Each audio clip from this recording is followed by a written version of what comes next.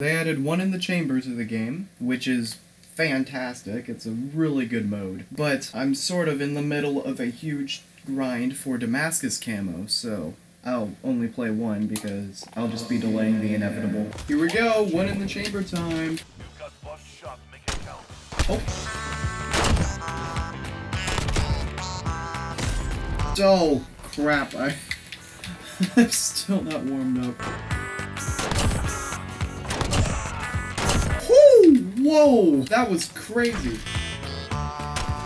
Duh. Boop!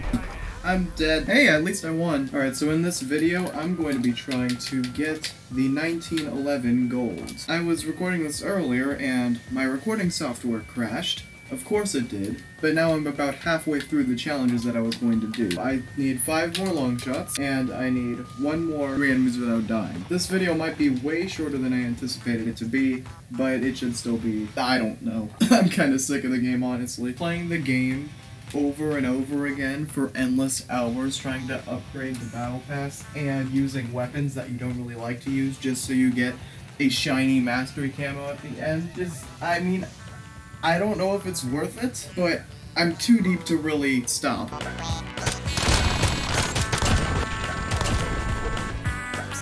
My recording software crashed again. Uh, why does this happen to me at the worst time? Uh, so I guess I'll just continue playing. And to put the icing on the cake, Modern Warfare has not been getting the best updates recently.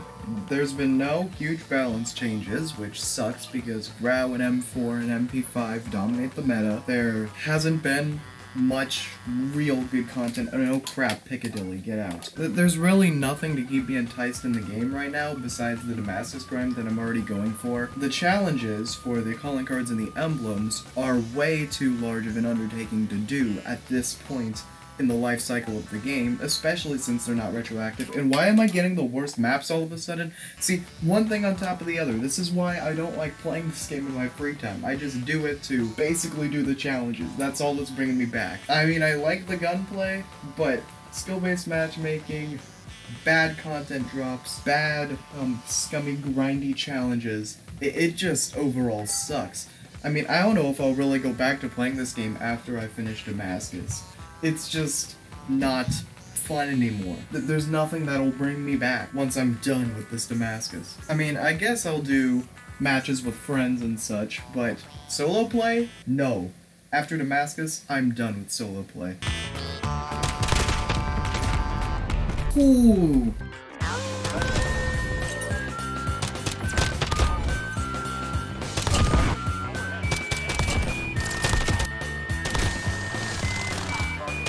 Well, it crashed again, so that sucks.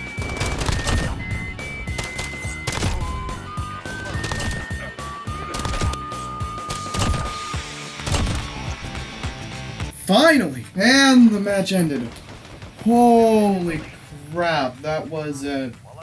Uh, oh, I guess this recording was quite an experience, wasn't it? Anyway, see you guys later. Oh, wait! Um, to all the dads out there, Happy Father's Day. See ya.